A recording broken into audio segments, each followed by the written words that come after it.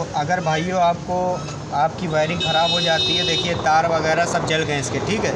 अगर आपको यही वायरिंग को सही करवाना है तो आप मेरे पास आ सकते हैं। आकी बिरिक्ष आकी बिरिक्षा रिपेयरिंग सेंटर में आके देखिए वायरिंग आप देख सकते